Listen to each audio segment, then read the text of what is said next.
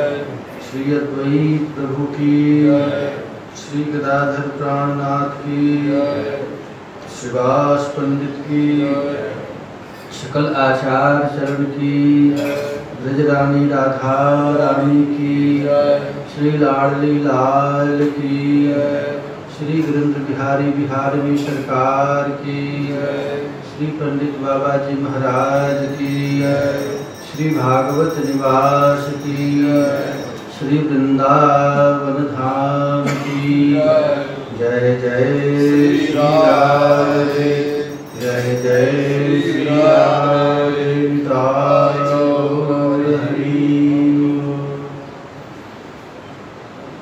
परम मंगलमय अकारण करुणा करुणालय श्री गौरांग महाप्रभु की महत्वपूर्ण कृपा से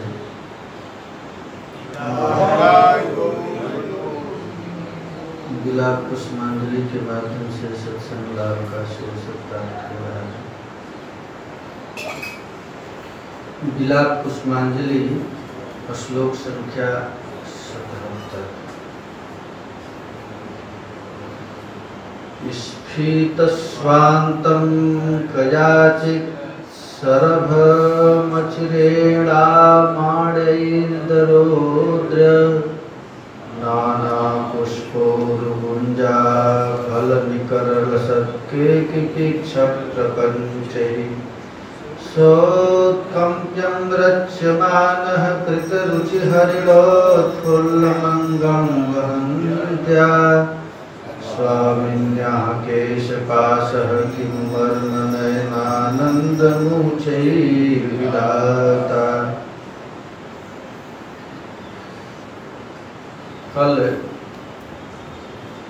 श्री रघुनाथ दास गोस्वामी किशोरी जी की श्रृंगार किए थे, भेष रचना किए थे।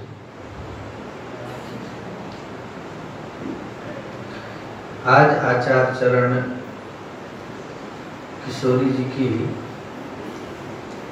केश रचना करें, केश की श्रृंगार करें।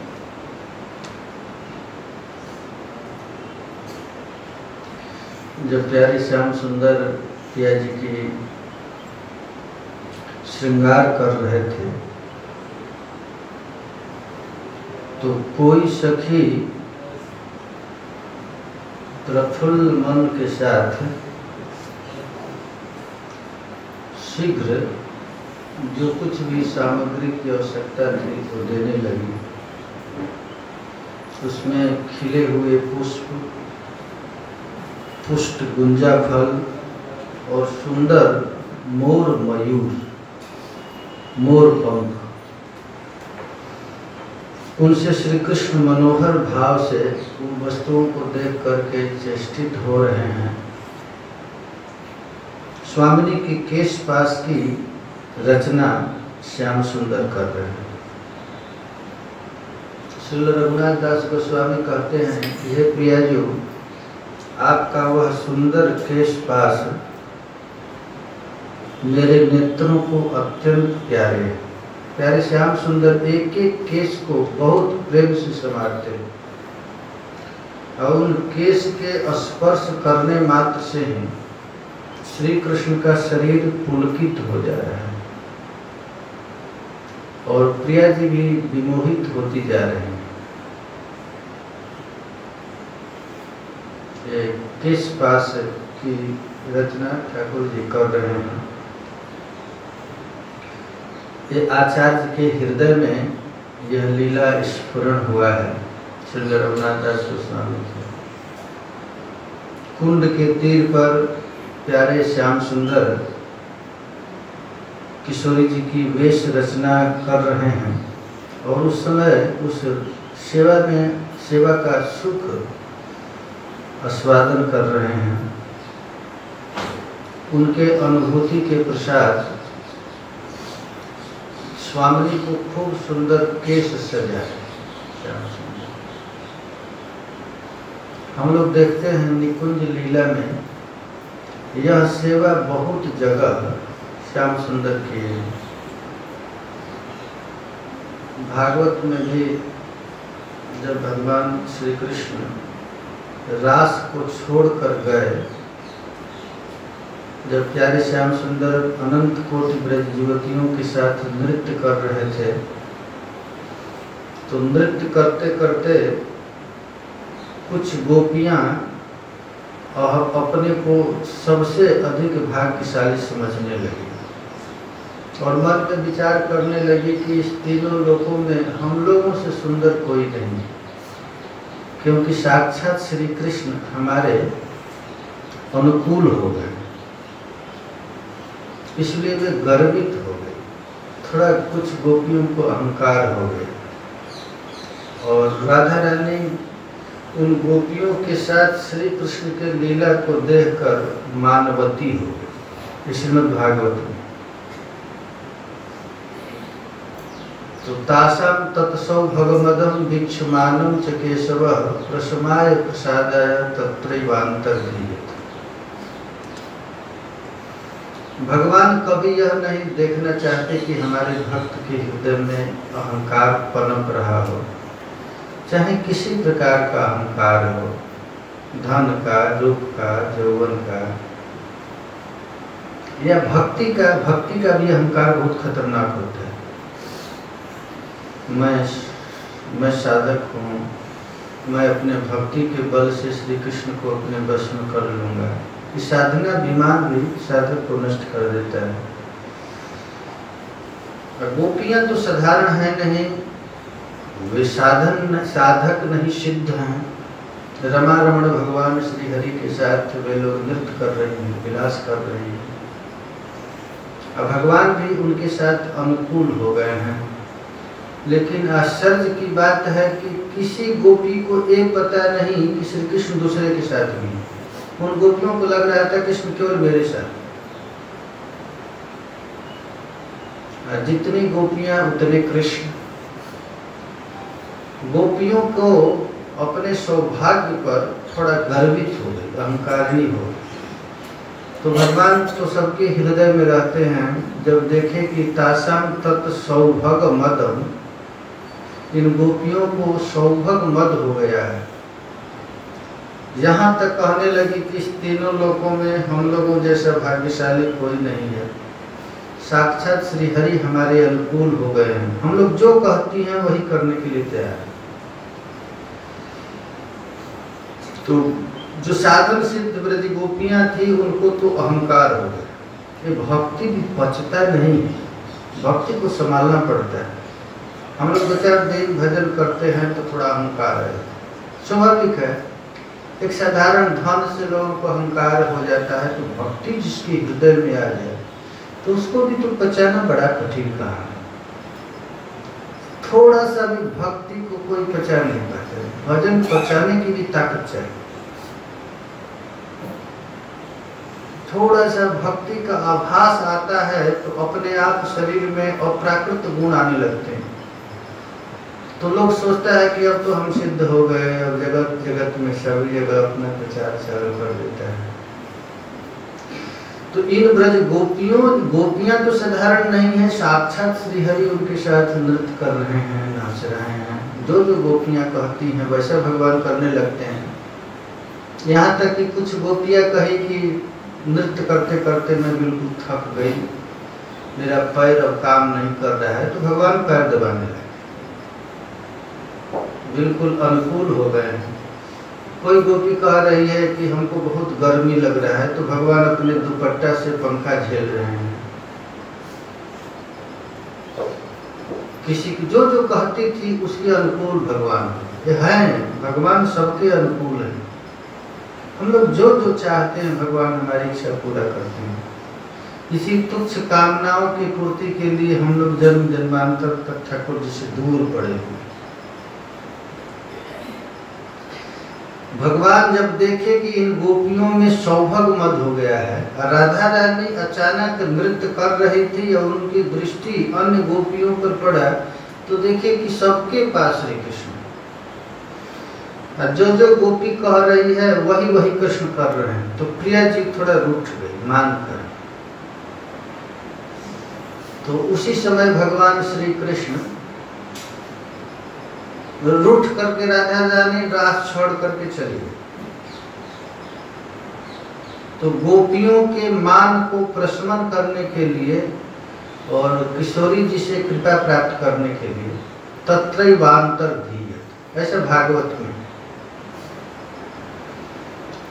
उसी समय भगवान अंतरहित हो गए।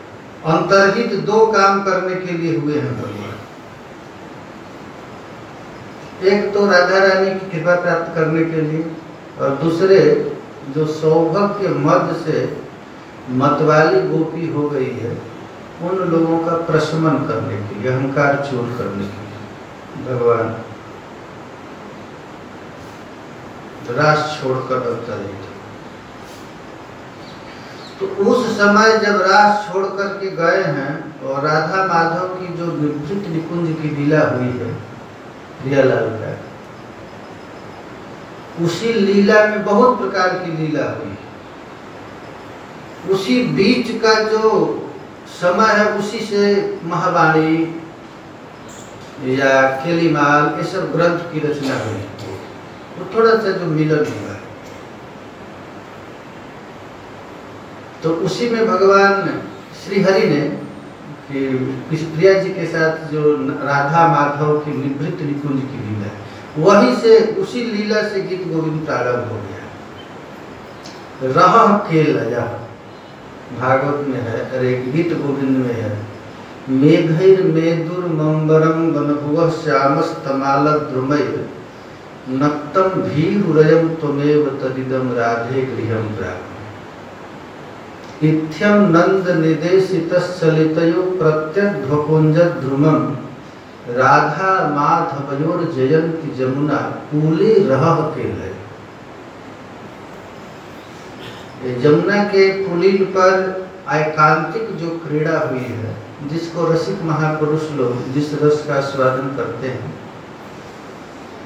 वहाँ पर श्री कृष्ण ठाकुर जी ने प्रिया जी के साथ लीला की। तो उस लीला में बहुत सी लीला बहुत लीला की है, जिसको महावाणी को पाँच भाग में बांटा गया है।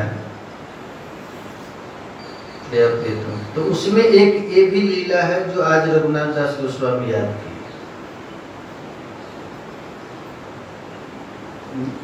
भगवान जमुना जी के तट पर अपने से पुष्प चयन किए। भागवत में है ना, पुष्प चयन किए आप पुष्प खोजते खोजते जब पुष्प नहीं मिलता है तो भगवान छटक छटक कूद कूद करके पुष्प को तोड़े हैं, जिसमें उनका पैर धस गया। जो गोपियों को खोजते खोजते आई हैं तो गोपियाँ कही हैं कि भारा कांत से काम बिना प्रिया जी को कंधे पर चढ़ा करके भी पुष्प तोड़े हैं। ऐसा श्रीमद भागवत में है। अत्रावरोपिता कांता पुष्प हेतु महात्मा ये सुखदेव जी की वर्णना सुखदेव जी कहते हैं। कहते हैं, कृष्ण को महात्मा कहें। कृष्ण कौन है महात्मा? परीक्षित कहीं शंका न कर दे कि किसी स्त्री के चोटी में फूल गूंथने के लिए श्री कृष्ण छटक छटक कूद कूद करके पुष्प तोड़े, कैसा कामी है? यदि मन में ऐसा है, कहते हैं ना ना ये महात्मा महात्मा का अर्थ होता है, जिसका मन अपने स्वरूप से कभी इधर उधर न है उसी को महात्मा। श्री कृष्ण का मन आत्मा राम है, अपने से अतिरिक्त कहीं जाता नहीं। राधा रानी कोई और नहीं है। श्री कृष्ण की आत्मा ही तो राधिका राधा है। आत्मा तो राधिका जैसे। तो श्री कृष्ण का मन यदि राधा रानी में है तो आत्मा राम ही उनका मन तो अन्यत्र कहीं जाता नहीं। और राधा रानी की ही काय भी हुई अपने शरीर की प्रकाश अनंत कोटि ब्रज गोपियाँ। गोपियाँ भी कोई दूसरा नहीं राधा रानी के उत्कर्ष को बढ़ाने के लिए ही अनंत कोटि ब्रज गोपियाँ तो यहाँ पर अत्रावरोपिता कांता पुष्प हेतुर महात्मा यहाँ पर महात्मा श्री हरि ने अपने कांता को बैठा करके पुष्प चयन किए। का, क्या किया है? तो केशव प्रसादनम तत्र। अत्र केशव प्रसादनम। यहाँ पर श्याम सुंदर ने खूब सुंदर चोटी गूंथी। श्री प्रिया, श्याम सुंदर को जितना सुंदर चोटी गुथने आता है, उतना किसी को नहीं आता। बहुत सुंदर। एक एक केस को, प्रिया जी के एक एक केस को प्राण के समान मानते हैं प्यारे केशव प्रसादनम पत्र कामिन्या कामिना कृत। यहाँ पर सुखदेव जी कहते हैं उस कामी श्री कृष्ण ने अपनी कामनी के केस में चोटी मेडी देखिए, अब काम शब्द का अर्थ साधारण नहीं है। यहाँ संसारिक दृष्टि वाला काम नहीं लगाना वहाँ श्याम सुंदर ने तानी चूड़ यताम कांता उपमिष्ट ध्रुव। चोटी गुथते हैं तो चोटी में बेला चमेली के पुष्प बीच बीच में गुथे हैं, श्याम सुंदर। जिसको देख करके प्रिया जी भी मोहित हो गए। प्रिया जी प्रसन्न हो गए, भगवान के उस लीला को देख करके, भगवान की छोटी को देखिए, बिल्कुल इस केस को कंगी करने में बहुत सतर्क रहना पड़ता है। बहुत सतर्क तो केस टूट जाएगा। मन यदि स्थिर जिसका नहीं है, वो केस प्रसादन नहीं कर सकते। केस एक केस टूटे नहीं और अच्छा से ये श्री कृष्ण को ही आता है और किसी को नहीं, चंचल व्यक्ति ये सेवा नहीं कर सकते। खेस का चंचल आदमी नहीं कर बहुत स्थिर से। तो ठाकुर जी ने ताली चूड़ यथा श्याम सुंदर, खूब सुंदर बेड़ी उठी प्रिया जी इस लीला को देख करके बहुत प्रसन्न प्रसन्न होकर के क्या करें? तो प्रिया जी पारितोषिक कुछ देंगे कुछ देना है, प्रिया इतना बड़ा काम तो प्रिया जी चाहती हैं प्यारे श्याम सुंदर से इसके बदले में उनको मैं कुछ दूँ। तो क्या दूँ? तो आलिंगन आलिंगन क्या है? अपने आप को देना। जब साधक दे, भगवान देखते हैं कि मेरे पास अब कुछ नहीं है देने लायक तो आलिंगन मैंने अपने आप को दे दिया। अब श्री कृष्ण किसी भक्त को अपना पीछा छोड़ाने के लिए भोग मुक्ष देते हैं। ले लो ले लो ले लो इसको ले लो। भक्त कहता है कि मैं नहीं हमें नहीं चाहिए। हमें धन चाहिए, न जन चाहिए, न कविता चाहिए, न वैकुंठ चाहिए। तो भगवान सोचते हैं, मैं क्या तब उसको आलिंगन अपना जब ठाकुर जी के पास कुछ भी नहीं रहता है, सब दे दे देते हैं, लेकिन कुछ भी भक्त नहीं लेता है, तब भगवान उसको आलिंगन दे अपन, अब आलिंगन का अर्थ होता है, मैं अब तुमको दे भक्त को दे। जैसे ठाकुर जी ने ध्रुव को आलिंगन किया, हनुमान जी को आलिंगन किया ये आलिंगन उसी को करते हैं जिस कुछ भी लेने की इच्छा नहीं उसी को देते ये तुलसी मंजरी देख रही है। श्याम सुंदर। राधा रसोधा निधि में आचार्य चरण कहते हैं के ना पिनागर बरे पदे निपत्य, संप्रार्थितैक परिरंभ रसोत्सवाया। सभ्रू विभंग मतिरंग निधे कदाते श्री राधिके नहीं नहीं गिरह श्रृणोमी मन में है इच्छा, लेकिन प्रिया जी मना करती है। बामता है, रस को उत्कर्ष बढ़ा देता है। जितनी बामता है, प्यारे श्याम सुंदर क्या करते हैं कि हे राधिके केनापि नागर बरेण पदे निपत्य कोई नागर शिरोमणि को मैं देखा कि आपके चरण में गिर करके प्यारे श्याम सुंदर प्रिया जी के चरण में गिर करके पदे निपत्य पैर पर गिर करके सम प्रार्थित प्रार्थना करते क्या प्रार्थना करते हैं? तो एक परिरंभुत सभा एक बार हमको परिरंभन दे दो, आलिंगन दे दो। ये परिरंभन क्या है? तो रसोत्सव है। रस का उत्सव। ये रस का उत्सव किसको प्राप्त होता है? जिसको संसार में किसी प्रकार की चाह ना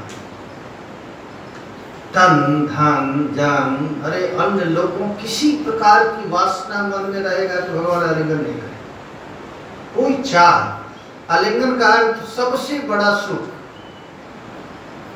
जीव और परमात्मा का मिलन। भगवान भक्त और भक्त का, भगवान और भक्त का मिलन।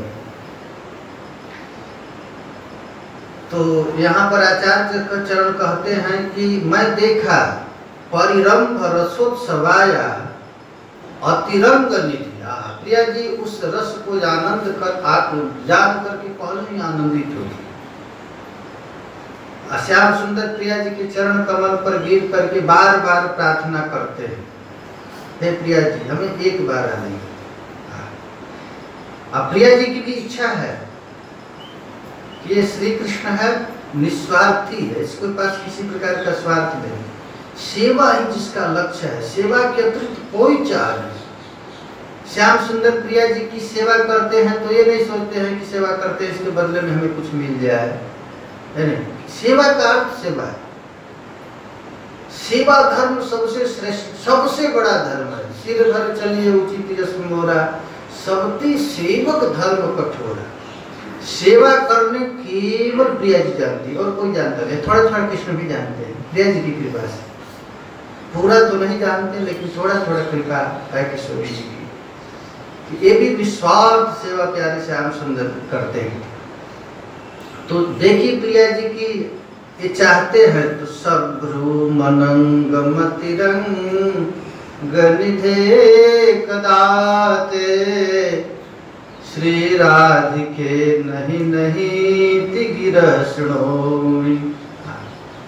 तुलसी मंजरी देख रही है कि प्यारे श्याम सुंदर चरण पर गिर करके एक बार परिरंभन की याचना करते हैं और उस रस का आस्वादन प्रिया जी मन ही मन करके सभ्रु विभंग मतिरंग निधे कदाते लेकिन मुँह से क्या करती हैं?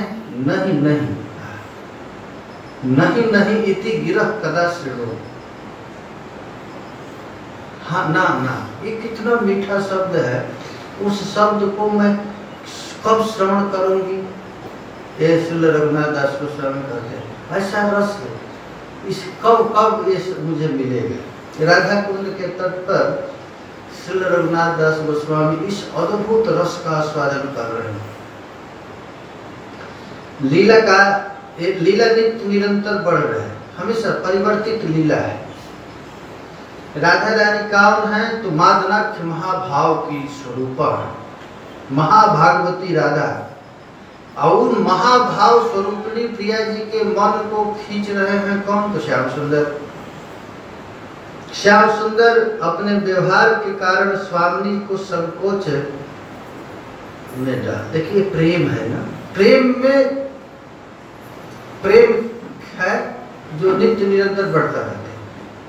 प्रेम तो कभी घटता नहीं है, हमेशा अनवरत बढ़ता है। आप प्रेम में संकोच नहीं। ये प्रेमी संकोच नहीं करते। समाधान श्याम सुंदर भी नहीं कर पाए। स्वामी के चरण में संपूर्ण रूप से बिक गए। नागरराज स्वामी के चरण पकड़ करके एक बार परिरम उत्सव, दान करो, कह करके बार बार प्रार्थना कर रहे मन कितना अभाव है, कितनी कातरता है। चरण तल में पड़े हैं। ये राधा के प्राण बंधु और श्याम सुंदर चरण पर गिर करके प्रार्थना करते हैं। कि हे प्रियाजू, मैं आपके लायक नहीं हूँ। क्यों नहीं हूँ? तो आप प्रेम की समुद्र में हैं और मुझमें प्रेम का एक लेस भी नहीं। प्रेम जिसके पास रहता है ना, वो सोचता है कि हमारे पास प्रेम नहीं जो कहता है, मैं प्रेमी हूँ प्रेमी हूँ, प्रेमी नहीं प्रेम का यही स्वरूप श्याम सुंदर प्रिया जी से कहते हैं हे वृषभानुराज नंदनी हे यतुल प्रेम रस सुधा निधान गाय चराता बन बन भटकू क्या समझू मैं प्रेम विधान। श्याम सुंदर रहे हे वृषभान नंदनी हे प्रिया जी हे किशोरी जी, आप तो अतुल प्रेम संपत्ति की अधिष्ठात्री देवी संसार में जितना भी प्रेम दिखता है इस जगत में, इसकी अधिष्ठात्री देवी प्रिया जी कुत्ते में, बंदर में, बिल्ली में, चीटी में, मनुष्य में, देवता में, ये जितना प्रेम दिखता है, ये प्रेम की अधिष्ठात्री देवी प्रिया जी किशोरी जी। और मैं भला प्यार क्या जानता हूँ? मैं तो केवल गायों के पीछे ही वो ही वो करते से अपना जीवन बिताया। गाय चराता बन बन भटकू क्या समझू मैं प्रेम विधान अनाड़ी लड़कों के साथ। ग्वाल बालकों के संग डोलू खेलू सदा गवारू खेल। हम हमेशा तो गंवारू खेल करते हैं। अप्रेम सुधा सरिता, तुमसे मुझ तप्त धूलि का कैसा मेल? आप तो रस रस की सागर है रस समुद्र अब मैं सूखा, गर्म बालू। हूँ तो मेरा और आपका मेल कैसे होगा आप ही कृपा करके हम पर कृपा करती हैं। हमको कृपा करके अपना सेवा का सुख दे देती हैं। तो इससे तो मैं बिल्कुल ऋणी हो गया। मैं अनधिकारी। मैं आपके सेवा के लायक नहीं, लेकिन आप कृपा की समुद्रा है, रस समुद्र है। लेकिन मन में बार बार ये विचार करता हूँ कि जो ये करुणा की है आप मेरे ऊपर, इस करुणा का शोध मैं कैसे करूँ? श्याम सुंदर का कैसे ऋण का शोध करूँ मैं? नित्य प्रेम धन का कंगाल, तुम ही दया कर प्रेम दान दे, मुझको करती रहो निहाल। विद्यापति जी का पद है तुम अपने गुण से भले हम पर कृपा करो, लेकिन हमें तो कोई योग्यता नहीं। हम तो कोई ऐसी वस्तु दिखता नहीं कि आप हमसे पर कृपा करती हैं, प्रेम देती हैं, या सेवा का शोषण देती हैं। ये तो आप कृपा करके हमको दे देती हम कोई गुण नहीं। आप ही दयालु हैं। इस प्रकार श्याम सुंदर प्रिया जी के चरण पर गिर करके बार बार प्रार्थना कर रहे हैं। एक बार मुझे आनंद दे दो। क्या है अदेय वस्तु? कि प्रिया जी का सामिध्य अदेय वस्तु। इस प्रकार स्वामिनी के मनोहर कांत में सुदक्ष श्रीहरि प्रिया, श्याम सुंदर क्या कर रहे हैं? प्रिया जी की छोटी पुतना कितनी देखिए छोटी पुतना पैर में महावर लगाना। प्रिया जी के एक एक लीलाओं को तत्व चित्त से श्री कृष्ण कर सकते। फिर भी श्याम सुंदर कहते हैं, आपकी कृपा है। आपकी कृपा से ही संभव हो सकता है। एक पारस्परिक भाव दो चकोर दो चंद ये दोनों एक दूसरे में परस्पर प्रेम रसे निमग्न, मशेष सम्मोहन रूप के ये परस्पर दोनों एक दूसरे पर अपने चरण पर गिर गिर करके प्रार्थनाएँ करते हैं। वृंदावनांतर निकुंज वृंदावनांतर नव नवकुंज तल्लीन पीत मिथुनम चकास्ते राधा सुधा निधि में राधा रस सुधा निधि में आचार्य चरण कहते हैं, ये वृंदावन के अंतर्गृह में नव निकुंज में, प्रियालाल का ये जो परस्पर दिव्य विहार है, ये नवीन कुंज है। वृंदावन में प्रियालाल बिहार करते हैं। बिहार करते करते अचानक मन में आता है कि यहाँ पर क्रीड़ा करना है रास करना है। तो सखी मंजरियाँ तत्काल वहाँ नव निर्मित निकुंज बना देती। अब प्रेम रस में निमग्न अशेष सम्मोहन रूपी क्रीड़ा युक्त नील नील पीत नील पीत प्यारे लाल के वृंदावन क्या है? नील पीत प्रिया लाल के अतिरिक्त कोई है ही नहीं। नील है कि पीत है पीत है कि नील है। प्यारे हैं, प्रिया हैं, ये यही ये लीला, ये मंजरिया देखती। लीला से स्वामी की तृप्ति नहीं ये प्रेम कभी तृप्त होता ही नहीं। प्रेम नित्य निरंतर बढ़ता रहता है, इसमें तृप्ति नहीं। इसमें प्यास है। ऐसा प्यास है, वो प्यास कभी बुझता नहीं। प्रेम में कभी प्यास बुझ जाए तो प्रेम रहा नहीं तो प्रिया जी, लीला में स्वामी की तृप्ति नहीं हो रही है। श्याम ठीक ठीक से उस रस का आस्वादन नहीं कर पा रहे श्याम प्रिया जी के उस रूप को देख करके थोड़ा मन मन मुस्कुरा रहे हैं। हँसी का पूरा विकास नहीं, पूरा। बार बार